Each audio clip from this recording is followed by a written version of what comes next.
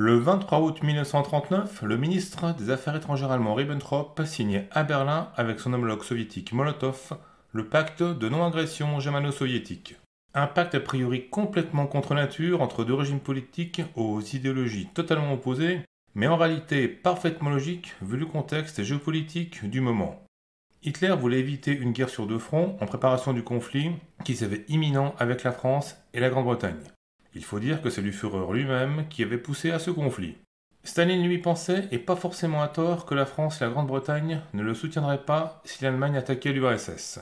Il voulait donc gagner du temps, laisser l'Allemagne occupée se battre à l'ouest pendant que l'Union soviétique se réarmait. Ce pacte de non-agression est accompagné d'un protocole secret de partage de l'Europe orientale entre les deux puissances totalitaires. Il deviendra caduque après l'attaque allemande contre l'URSS le 22 juin 1941.